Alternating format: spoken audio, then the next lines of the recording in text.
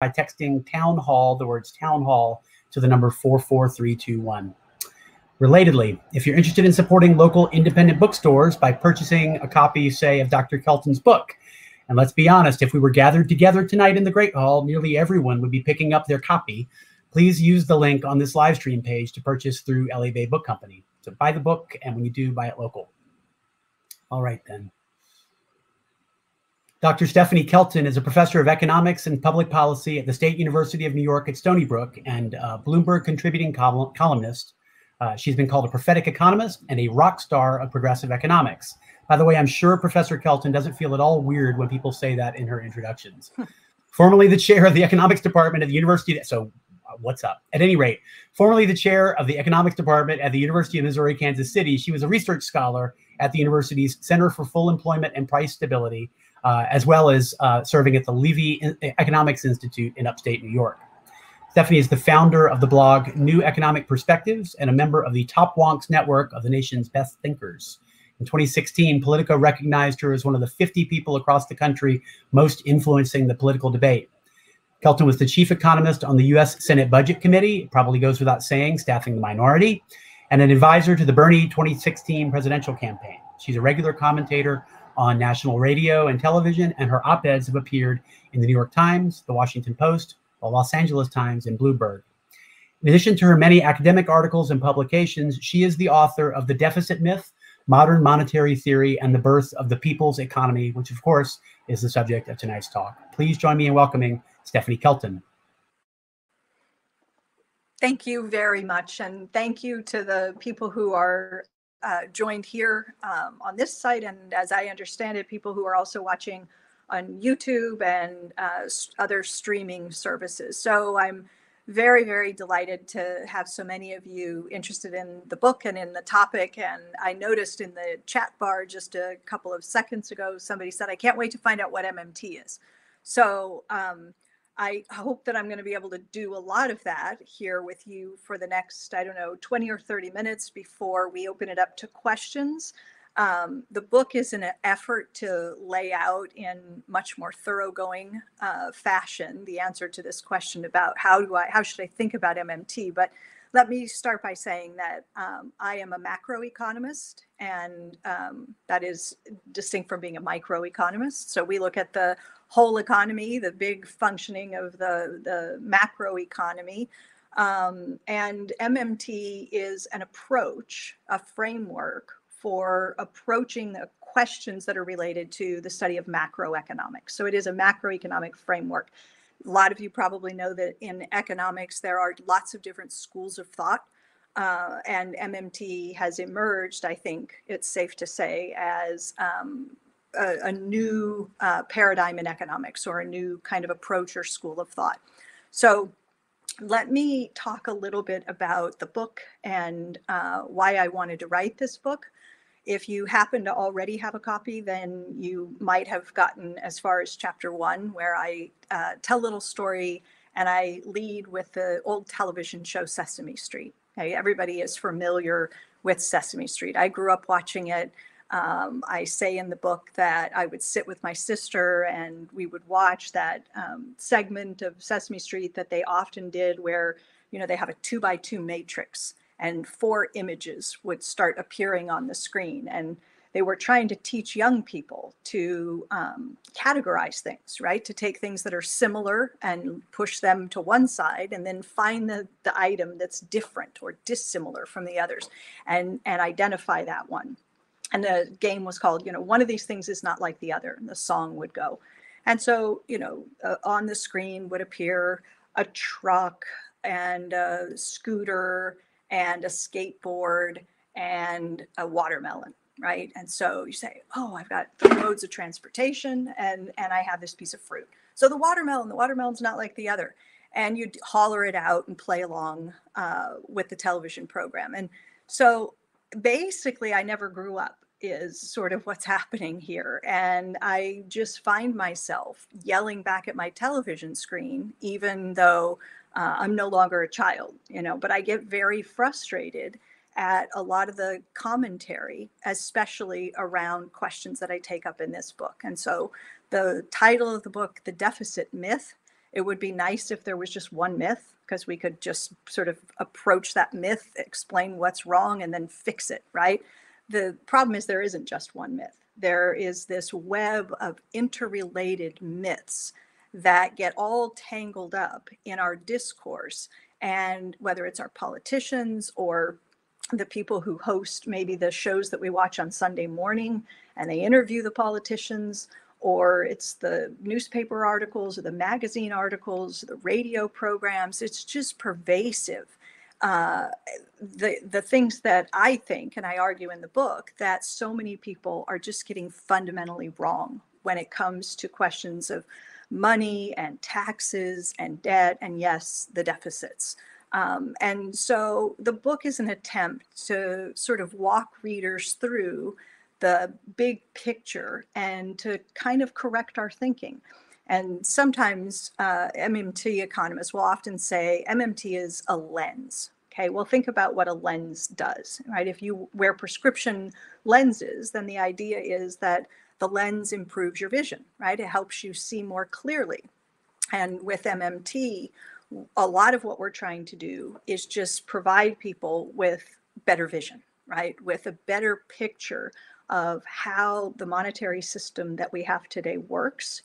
And once we get a better understanding of our modern monetary system, we can begin to ask questions like, well, how does that change the government's ability to run policy in the interest of the people? So the subtitle to the book is Modern Monetary Theory and the Birth of the People's Economy. So let's just sort of start chipping away at some of these myths. Um, I say in the book, I start with what I think is the most pernicious of all of the different myths. I take up six in the book. The most pernicious myth, I think, is the myth that the government should run its budget the way that you and I operate our budgets. The government is basically a big household, and it should really play by the same rules that you and I play by. Okay, we know that um, we have to balance the checkbook every month. We know that we're supposed to watch the amount of money that comes in and the amount of money that goes out, and we're supposed to manage our finances responsibly. And that mostly means trying to keep spending in check where we don't spend everything that we make. Maybe we put something aside and we save. We try to avoid borrowing and taking on too much debt. And the reason is that we know that borrowing can get us into trouble. We start borrowing to finance um, spending beyond what we can afford out of our current income, we have to pay that money back.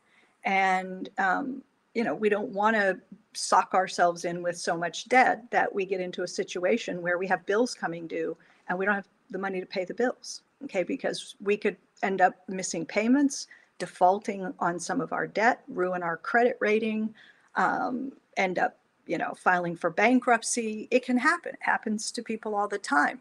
Happens to businesses. Okay, it can happen to corporations. It can happen to state and local governments. So we're beginning now. I want to circle back to Sesame Street. And in the book, I put the matrix up with the four pictures. And I ask readers to see that there's something different about the federal government's budget, the federal government's finances. So if you think of, you know, one of these things is not like the other, you and I, households, we have to balance our budgets. We have to live within our means. We can't take on too much debt. Households, businesses, and state and local governments. If you are, you know, paying attention to what's going on in the country today in terms of state budgets, and you're listening to governors and mayors across this country beg, literally reaching out to this administration, to the White House, imploring the president to um, and, and, Congress to send aid because state budgets are getting hammered, and states are not like the federal government.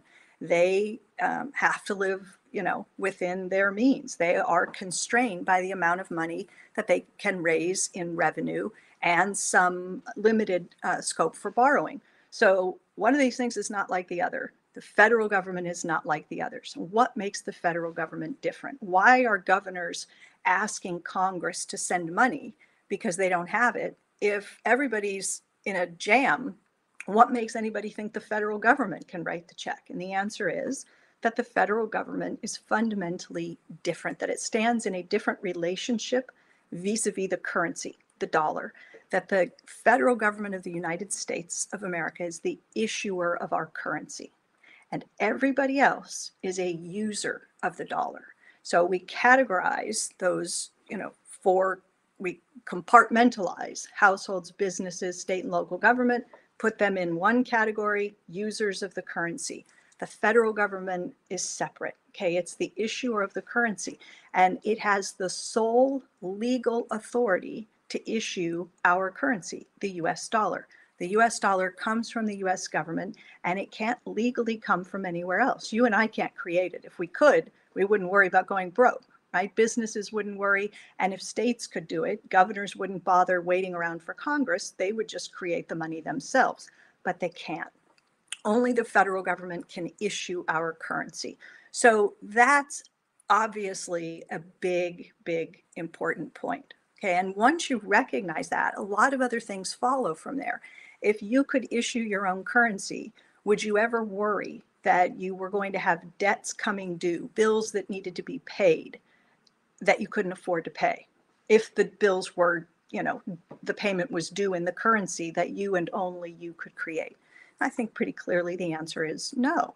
Would you worry that there were certain things you couldn't afford if they were priced in dollars and you have the patent uh, essentially, right? The copyright on the dollar. Uh, would you worry about not being able to come up with enough money to meet expenditures, to fund programs? I think the answer should clearly be no. Now, once we recognize the federal government is the issuer of the currency, people then immediately think, oh my God, so you just want the government to, to spend to infinity, right? And the answer is no, you can't do that, right? It isn't that there are no limits, there are limits, but the limits are not in the government's ability to afford programs, to make payments, to service bonds and pay debt. The limits are in our real economy. And so this is where I go with chapter two in the book, where we talk about inflation, because what what none of us wants is to live in a country where prices are spiraling out of control. Okay, nobody would want that. Inflation is a continuous increase in the price level. And we work very hard to manage inflationary pressure and avoid allowing inflation to, over time, erode the value of the currency. Okay, so in the first chapter, we make sure that we understand government is not like a household. It is not constrained like state and local governments. It has spending capacity well beyond the rest of us by virtue of the fact that it issues the currency, but there are limits. And the limits are in our real economy. So if you think about it, our economy runs on sales. We have a capitalist economy. Businesses in a capitalist economy produce for profit, right? They don't, businesses don't hire people because they want to be good Samaritans. They hire workers because they need them in order to help them produce the output that they can sell and make a profit on. Okay. So the question is how much economic activity can our economy support at any one point in time? businesses would love to be swamped with customers because when a business is swamped with customers means they have lots of sales means their revenues are high means they have a source of profits and profitability and they are viable customers start disappearing sales fall revenues decline profits fall businesses might not survive you got to be profitable to stay in business so the question is we've got all of these different sources of demand for goods and services that our economy can produce. The private sector has households, you and I, right? We go buy consumer goods and that creates demand for firms' products. They like that. Businesses buy from each other, right? They buy uh, intermediate goods, they place orders and so forth. That's good. That drives uh, sales and supports jobs in the economy. Government makes purchases and hires and employs people. And that provides some support for spending in the economy. And then the rest of the world buys some goods and services from us as well. So those are the four ways that demand enters the economy. Right? Household spending, business spending, government spending, and spending from the rest of the world. The question is at any point in time, when you add up all of that spending, is it generating enough demand to keep the economy running at full employment, where everybody who wants to work can find a job and the economy is healthy and balanced in a way that you don't have runaway inflation? That the demand is high enough to create enough jobs for people, but not so high that you're outstripping your economy's productive capacity. If demand is running faster than firms can keep up with, then the result is going to be inflationary pressure. So it's not the only way that you can generate inflation. Okay, inflation is kind of a complicated phenomenon, and economists work very hard to try to study and understand inflation and model inflation and think about ways to attenuate inflationary pressures when they arise.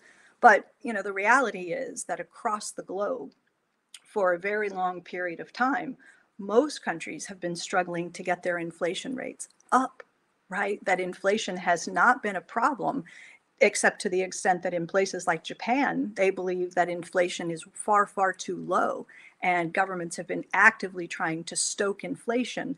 Most countries target inflation at 2%, and most countries put the central bank in charge of basically running macroeconomic policy. So here in the US, Congress told the Federal Reserve essentially, it's your job. You steer the economy.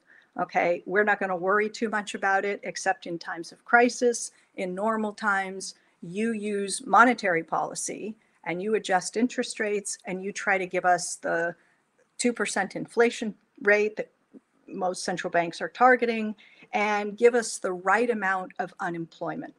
This is more than I can go into in this short talk, but it's all dealt with in the book. And it's one of the, um, I think, big problems that MMT has with the current approach to macroeconomic policy making is that Congress has put responsibility on the central bank. Okay, these are not elected officials. We didn't vote for the people who are at the Federal Reserve.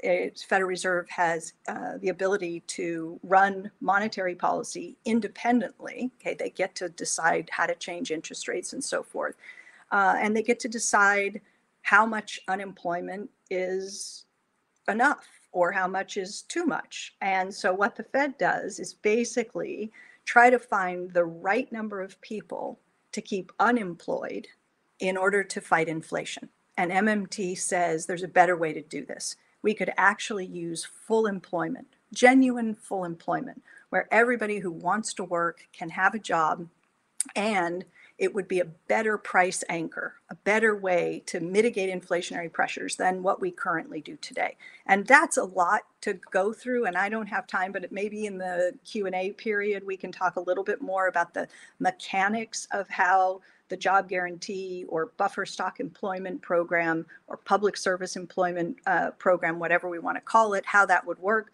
But that's basically um, the idea is to use a federal job guarantee program to achieve genuine full employment while at the same time putting a lid on inflationary pressures or containing inflationary pressures. So running our economy at its full potential.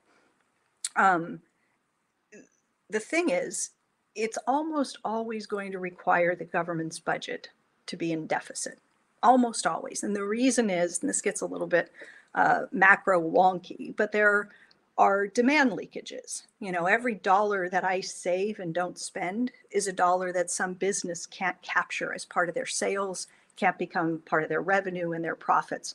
Every dollar that's taxed away from me is a dollar that I can't use to buy goods and services in the economy. And every dollar that I use buying goods and services from abroad is a dollar that some US producer can't capture as part of their sales.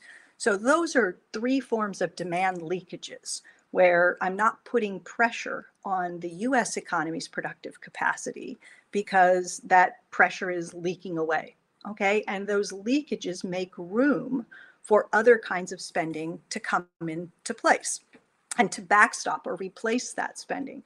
And one way to do that is through fiscal policy. The government can use tax cuts to try to replace some of the lost spending, or it can spend on its own and directly replace some of that lost spending. But the idea is to produce a balanced economy where you have enough total spending to support jobs at full employment, but not so much spending that you're putting too much strain on the productive capacity of the economy and generating inflationary pressures. And what I'm saying is, because of the demand leakages, there is almost always a need for the government through deficits to support jobs and um, productive activity in the economy to support the economy so if so think about it this way the deficit is the difference between two numbers right when we say the government has run a fiscal deficit we're saying that the government has spent more dollars into the economy than it has subtracted away by taxing us. Okay, that's the government's deficit. Spend 100 in, tax 90 back out. We label that a fiscal deficit. And people get very nervous about that because we've been taught to think about the government's finances the way that we think of our own personal finances. So we say, wait, you're spending more than you're taking in. That's so irresponsible. Stop that. You know, cut it out, balance your budget. But think about what happens if the government balances its budget. So it spends 100 into the economy and it taxes or removes 100 back out. Well, now the government's budget is balanced, but somebody lost out on 10, right? When they were running a deficit, they put 100 in, spend 100 in, tax 90 back out. That leaves $10 somewhere in the economy. So, one of the most important points that MMT makes is that every deficit is good for someone, right? Every deficit is good for someone because the government's deficit is nothing more than a financial contribution to some other part of the economy. In my example, it's a $10 contribution to some other part of the economy. Now, a government surplus, which might sound like the best of all worlds, right? Not only do you balance the government's budget, but you put it into surplus. And we did this during Bill Clinton's administration. From 1998 to 2001, for four years, the federal government's budget moved into surplus. So think about what that means, right? It sounds fiscally responsible. You hear Democrats talk about how they were the last party to deliver not just balanced budgets, but surpluses. And then it was that rotten George Bush who came along and cut taxes and, um, you know, funded wars. And all of a sudden the surpluses disappeared. Okay, so let's think about whether we really want the federal government's budget in surplus. So, what does that mean? Well, it means the government is taxing more dollars out of the economy than it spends back into the economy. So, using simple numbers, let's say the government taxes $100 out and it only spends $90 back in. The government's budget is in surplus. We'll write a plus 10 on the government's ledger, but what happened to the rest of the economy? They took 100 away and only replaced 90. So the non government part of the economy now on its ledger shows a minus 10. So government deficits, I sometimes say, work like a blower. You know, they blow dollars onto somebody's balance sheet. And a government surplus works like a vacuum. You It hoovers dollars off of people's balance sheets. So the next time you hear a politician railing about fiscal deficits and saying that if you vote for them, they will pledge to balance the budget or put the budget in surplus, I'm talking about the federal government. Next time you hear a federally elected official do this, stop and say to yourself, wait a minute, why is this guy or gal pledging to reduce the surpluses of the rest of the economy? Right? Is that, do we really want that? Now, there may be times that uh, the government's budget ought to be in surplus. And it would make sense if you think that uh, the economy is getting too much strain or putting too much strain on the productive capacity then it makes sense for the government to scale back some of its own spending or increase taxes or a combination of the two, right? That's one way to um, temper inflationary pressures. But MMT would never look at the budget outcome itself, surplus, deficit, balance, and say we should be targeting that, right? You don't know in advance where the government's budget ought to be. You just know in advance what the state of the economy ought to be right? A healthy, full employment economy with managed, you know, low inflationary pressures. Okay, so that's um, sort of the goal there. In in economics, there's a chapter in the book. I'm not going to try to talk too much. I, I want to leave lots of time for Q and A. But the wonkiest sort of myth that I get into in the book is the myth that's known in economics as crowding out. And this one is um, you know, you don't hear this one talked about so much uh, if you turn on the TV or listen to the Sunday morning talk shows, read the newspaper. This one doesn't get the sort of headlines that uh, some of the other myths get, but it's very, very powerful in Washington, D.C. And this myth says that um, government deficits are dangerous because when the government runs a deficit, spends more than it taxes away from us, it has to make up for the shortfall somehow. And it makes up for the shortfall by borrowing from somebody who has money. So the deficit requires the government to borrow from savers. And there's only so much money available to be loaned out. And so when the government wants to borrow more, it leaves fewer dollars available to others to borrow, it's primarily private companies, right? And if the government's deficit gets bigger, then its borrowing needs increase, then it eats up part of the supply of dollars that would have been available to private businesses to invest in our economy. But the government took those dollars, and the competition for that finite supply of dollars drives interest rates up. And as interest rates get driven higher, private firms will borrow less because interest is the cost of borrowing. And as private businesses borrow less, we get a less dynamic economy. private businesses are just presumed to um, invest more efficiently and have, you know, greater long-term benefits for the economy, driving productivity, growth, and so forth.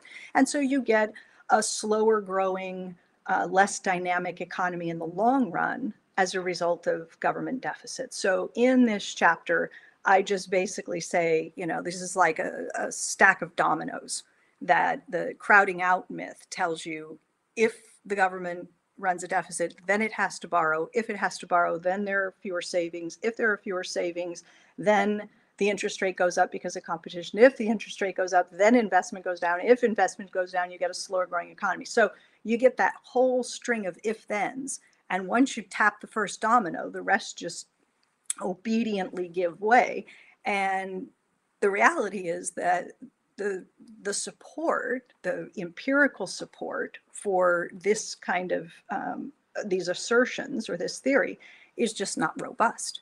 Um, you can get crowding in effects. You can imagine the government making investments in things like education and R&D in infrastructure and having that spending give rise to higher economic activity that then swamps businesses with customers, that then leads businesses to get excited about investing to build more capacity to satisfy higher demand. So uh, the point is that um, a lot of the myths that we're told, even the more complicated economic myths, um, we can we can unpick them and find out where the flaws in the arguments are. So so much of what we're told to fear about deficits that governments are going to go broke just like a household would, or I may wrap up on uh, on this one or uh, one other one that that will end up like a country like Greece. Okay, many of you probably remember after the financial crisis in 2008 uh, and the global economic recession that followed, that there were there were debt crises in, across much of southern Europe. That many countries got into to deep trouble, and you know I could turn on the nightly news here and I could hear um, who uh, let me think brian williams right? I would i could remember standing in the kitchen and hearing the the scary music come on like you know six o'clock five o'clock news whatever. And it goes dun dun dun.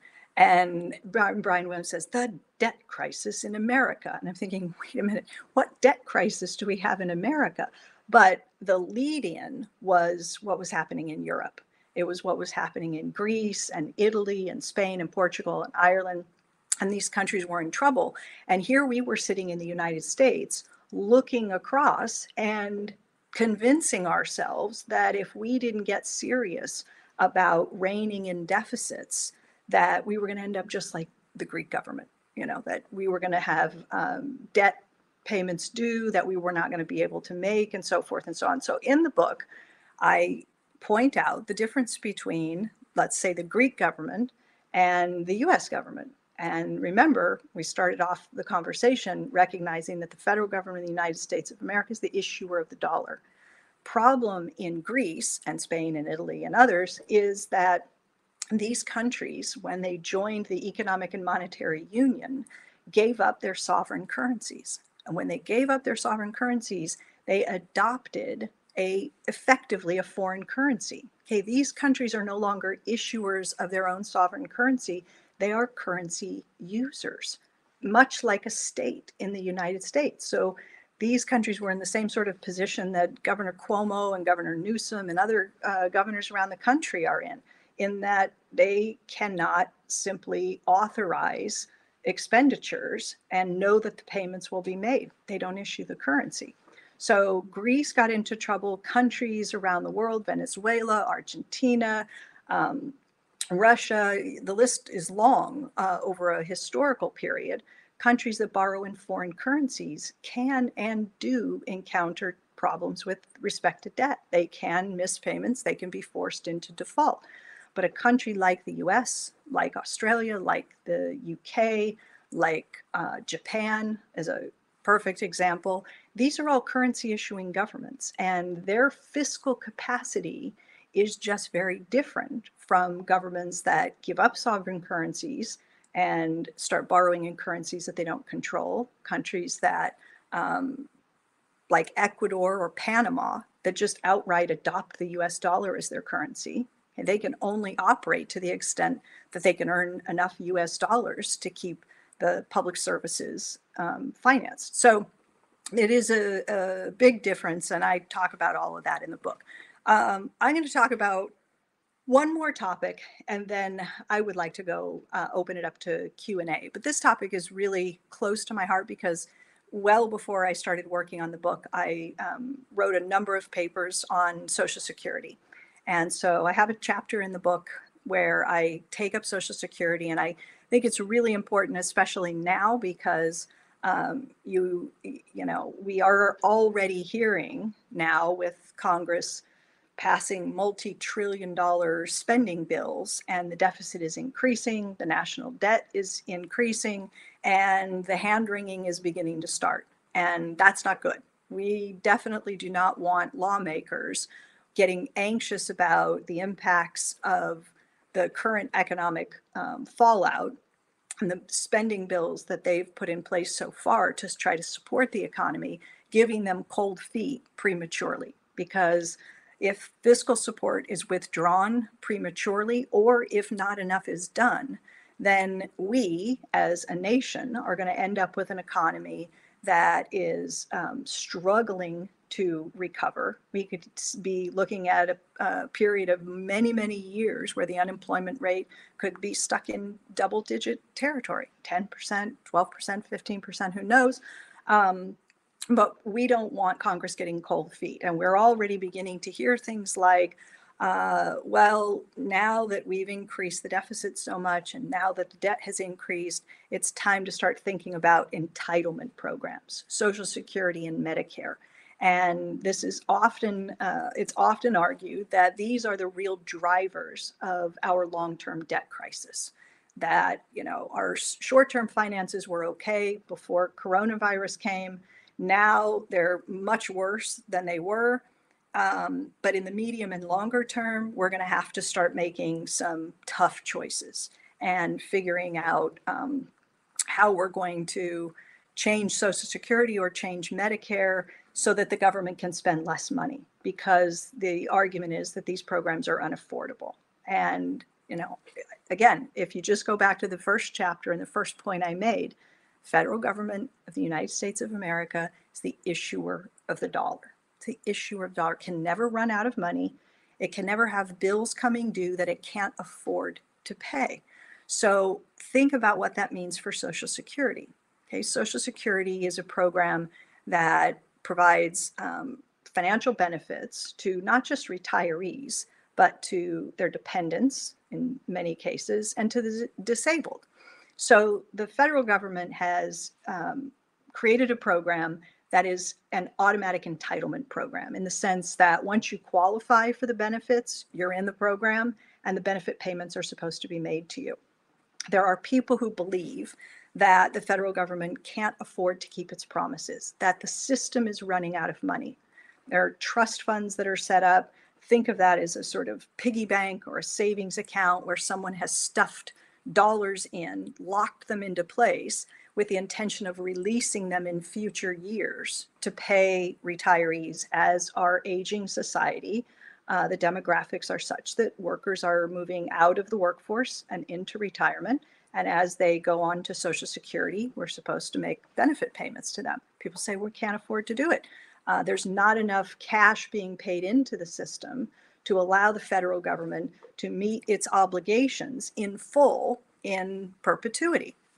To which I say, it, why would you worry about trapping dollars in a trust fund like locking up digital spreadsheet entries and thinking that somehow that's what makes you able to meet future obligations? That if we don't tie up enough dollars, trap them on a spreadsheet somewhere, then we won't be able to mail benefit checks or send the dollars out in the future to retirees. That's obviously very silly.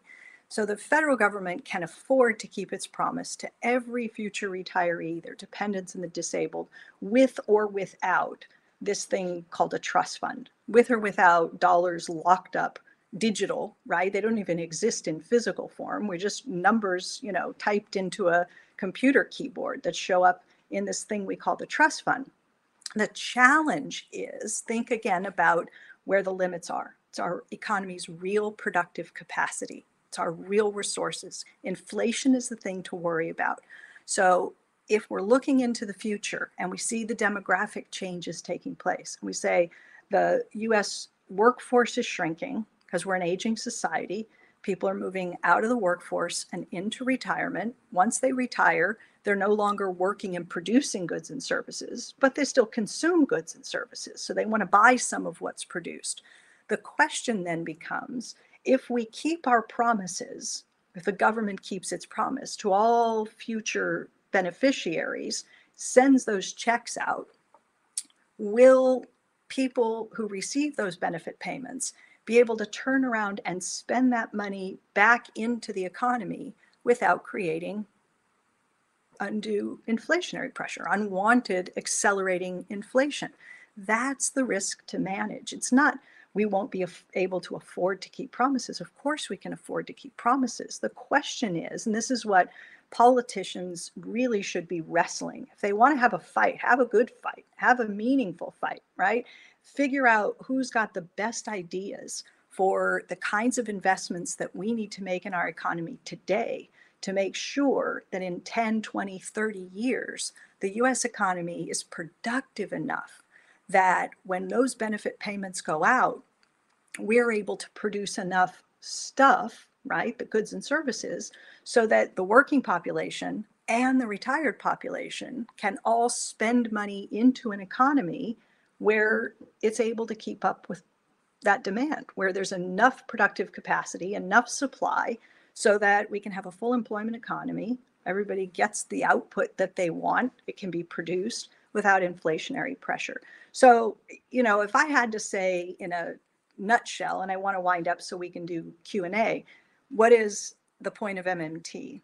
MMT is about replacing artificial, artificial, phony constraints with a real resource constraint, which is an inflation constraint. And by the way, and it's also in the book, a real uh, a natural resource constraint, right? An ecological constraint, a bio uh, economic constraint that we can't place excessive pressures on our factories and machines and on our planet and expect uh, things to work out well for us. So it's about getting away from an obsession with the stuff that doesn't matter and turning our attention to the things that do matter. And so chapter 10 uh, chapter 10 i didn't write 10 chapters i wrote eight chapter 7 is called the deficits that matter and that's where i really hope that we can start turning more of our attention to the, the legitimate deficits that are um, pervasive in our economy so with that i think i will stop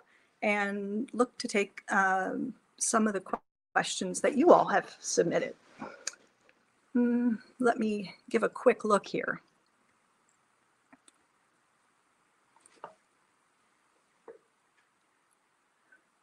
Well, Jeff Jeff asks, uh, how can the American public be educated about MMT to build political support? I think that's a great question, Jeff. And um, I'm not an organizer, but I know a lot of good ones, and I know how important that work is. Um, you know, I think that it has to be a multifaceted effort. It it can't be we're not going to spread uh, a better understanding as spread bad word uh, we're not going to achieve a better understanding better public discourse without you know journalists playing an important role they're the ones who sit down with politicians and if the first question out of their mouth is how are you going to pay for it and then haranguing them over the numbers and whether the math adds up and whether it will add to the deficit that's not helpful we need journalists to start asking better questions. So if somebody says, you know, I want Medicare for all, don't say, how are you going to pay for it? Say, well, are you sure we have the doctors and nurses, the long term care facilities? Will we have the mental health professionals? Will we have the hospital beds? Will we have the infrastructure, the real resources to produce and to make good on that promise of Medicare for all or whatever the case may be, tuition free college, right? um, you have to have people on the ground. You have to have, uh, I think, people like me. Um, you know, we have to teach better, and we have to teach each other, and we have to have discourse on a whole bunch of different fronts. So, um, I like that question a lot. It's just, it's not easy to get there. I'm doing my part. Uh, how much debt is too much is one of the questions. And how do we know when we get there? So i didn't really get to i didn't get to spend a lot of time on any one subject but um, on the debt the the debt is is just a misnomer in some respects. It's got a rotten um, calling card and i say this in the book you know because people think well there's too much debt and this is what this question is about the national debt this thing we call the national debt is nothing more than a historic record of all the past instances where the government spent more money, more dollars into the economy than it taxed back out. And those dollars are currently sitting in the form of US treasuries, government securities. Okay, that's the that's the name we've given to it. Sucks, frankly. Um, we call it the national debt. And it's just a stockpile of treasury securities that you could think of as part of the US net money supply. You can just think of it as part of the money supply. Part of our money supply is interest bearing, and part of it is non interest bearing. Treasuries are interest bearing dollars. So if the question is how many interest bearing dollars are too many interest bearing dollars, then my answer is well, it depends. Are they creating a, any kind of problem? Okay. Are they creating inflationary pressures? If you've got interest bearing dollars out there and somebody's being paid interest income, I'm a bondholder, right? So suppose I have bonds. And because I hold bonds, I'm being paid interest income. And, and that interest income then allows me to spend more, right? So if all of the bondholders are getting all of this interest income and those dollars start going out and chasing goods and services and the economy's productive capacity is already at its maximum then you could get inflationary pressure. So the answer to the question how much debt is too much is when the when the debt becomes a problem is when it starts to give rise to inflationary pressures and that's how you know when you get there and you can manage that okay? Um, please elaborate on how the pandemic response of funding, uh, oops, the question jumped. Uh, the elites and corporations, four or five trillion exposes the lie that deficits even matter. Okay, so that's a good question. Um, he, so here's a here's what happened, and I know the person who asked the question knows, but just for everybody else to make sure we're all on the same page. Um, you know, we just not too long ago got through uh, 2019. And for pretty much the whole of that year, we um, watched a very crowded field of Democrats, Democratic hopefuls, presidential hopefuls, um, pitching their platforms and saying, you know, vote for me, I'd like to be president, and these are the things I would like to do. And at every turn, the question that dogged candidates, those with more ambitious platforms really got it, right? But everybody got it, was how are you going to pay for it? How are you going to pay for it? How are you going to pay? Where is the money going to come from? How are you going to finance this stuff? And people twisted themselves in knots to try to say, well, we can find revenue here and we can raise taxes there and we can come up with all the money we need. And then roll the clock forward to March of this year and the coronavirus pandemic begins. And all of a sudden, dollars are materializing out of Congress, legislation is being passed left and right.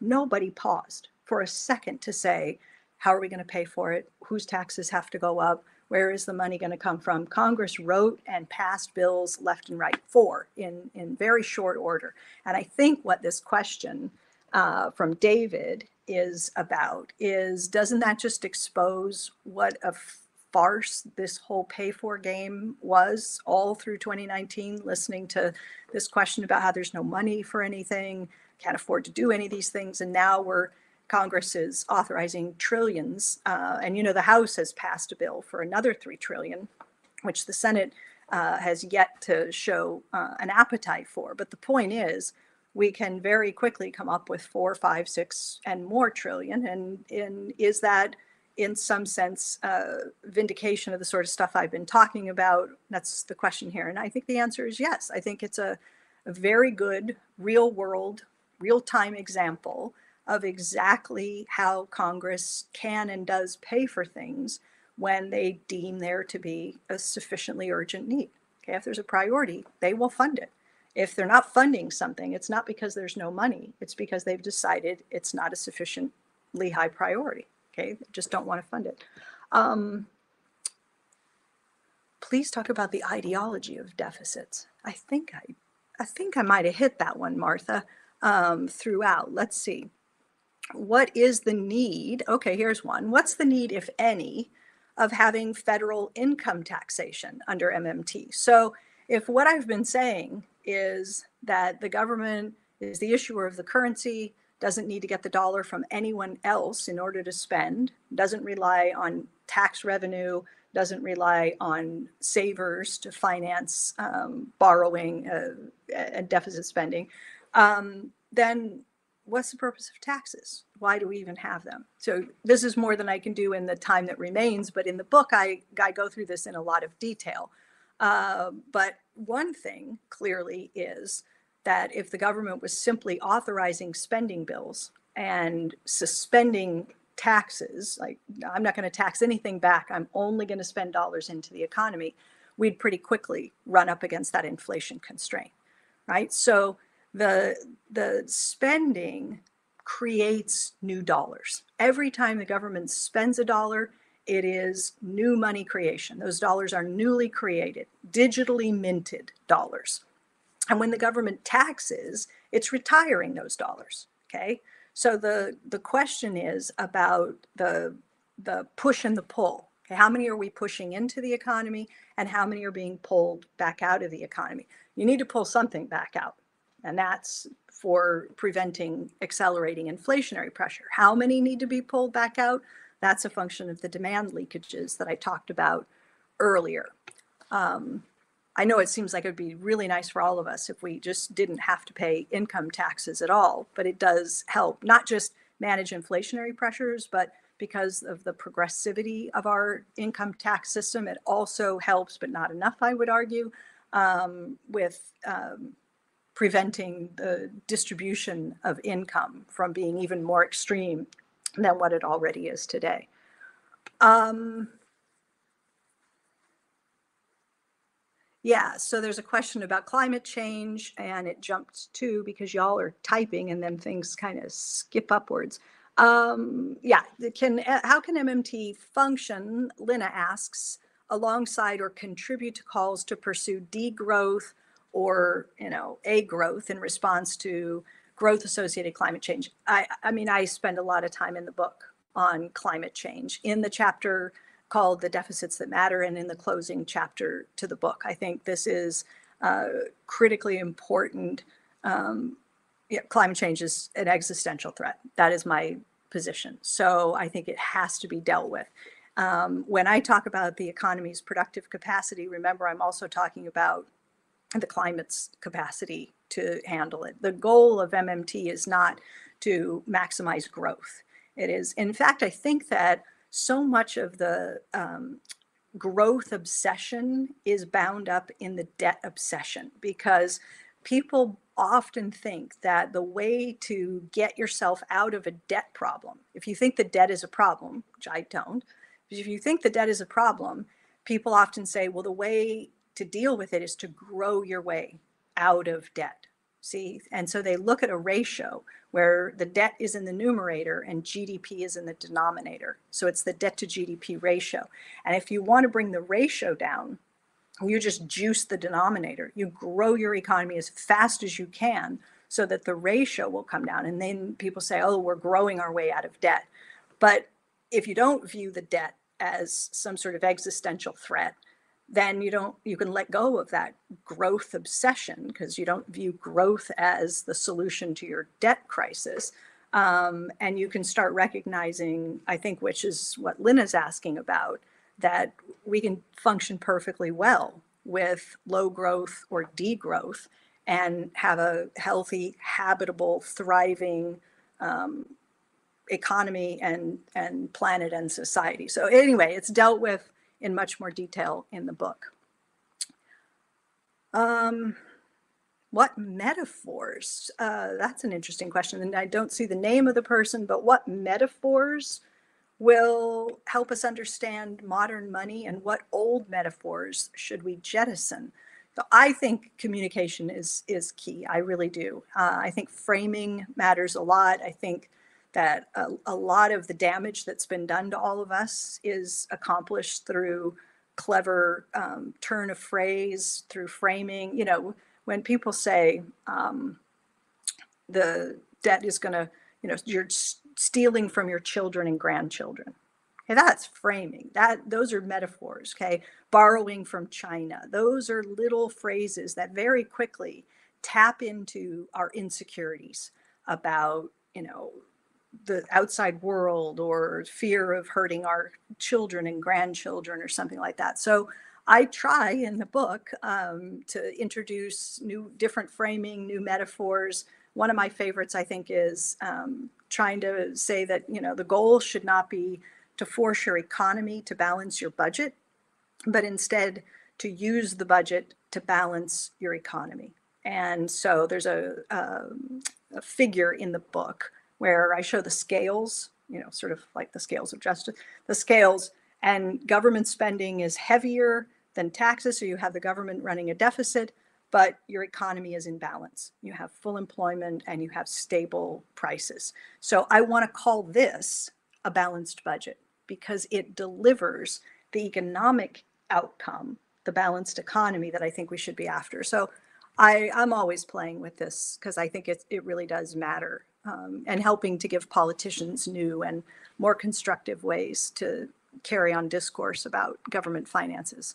Um, is, I'm not sure I understand that question. Uh, if the Fed uses unemployment as a measure for inflation, it jumped again, doggone it. Uh, I started to read and then it jumped. Hmm. I don't know what the question was. I'm so sorry. It, it popped out of view.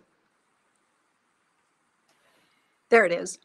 Wouldn't a guaranteed live? Okay, if the Fed uses unemployment as a measure for inflation, wouldn't a guaranteed livable income have kept inflation at a healthy percentage?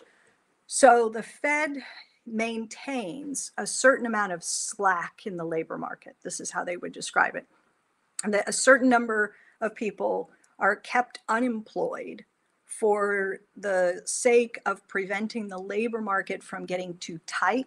And the idea is when it becomes too easy for people to find jobs, when the labor market gets too tight, workers have more bargaining power, They can negotiate higher wages. And if wages increase, then employers might respond to the increased wages um, by raising prices to protect the profit margins. And so higher wages push prices higher, and then you get inflation, and then you can even have a, a wage price spiral if um, the bargaining intensifies. Um, so the question is could you somehow avoid that? Remember, we don't have uh, inflation accelerating. Um, could you avoid that with a guaranteed livable income? I assume this person's asking about something like a universal basic income or something like that. Uh, there are proposals right now to get cash payments to virtually everybody in the country.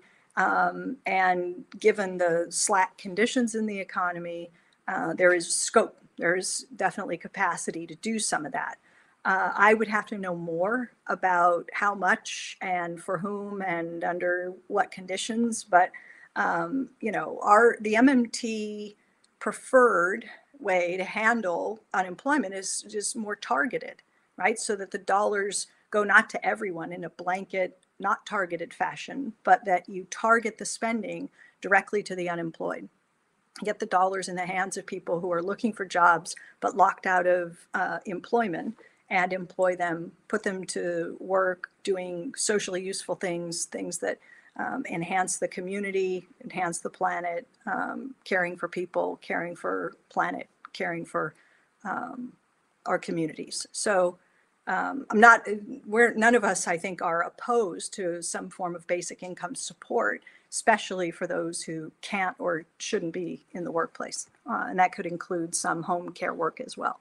So um, I think with that, it's 10 o'clock and um, it, I'll take one last question. The, the, the last one, this is a great question, is, is GDP, it jumped, is GDP a good way to measure, I think, uh, okay, is the GDP a useful measure of the economy?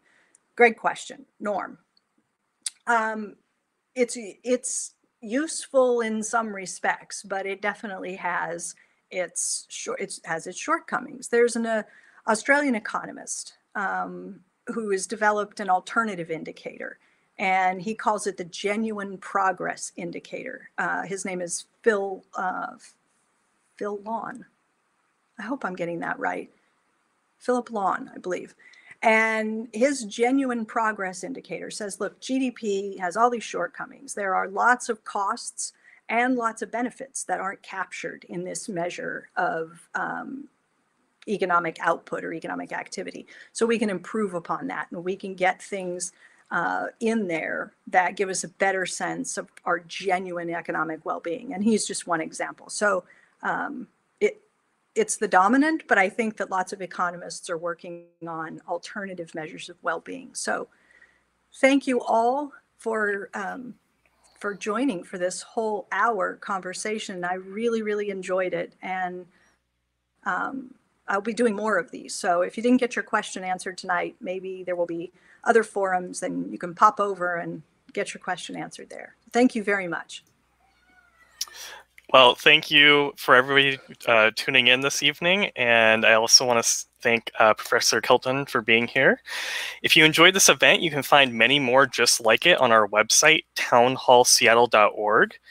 We also hope that you'll consider making a donation to Town Hall Seattle as your support will continue to allow us uh, to provide events just like this one. If you're interested in making uh, in purchasing a copy of the book, The Deficit Myth: Modern Monetary Theory and the Birth of the People's Economy, please use the link on this live stream page to purchase through our friends at Elliott Bay Book Company. Uh, finally, I want to thank everybody again for being here tonight, and I hope you have a great evening.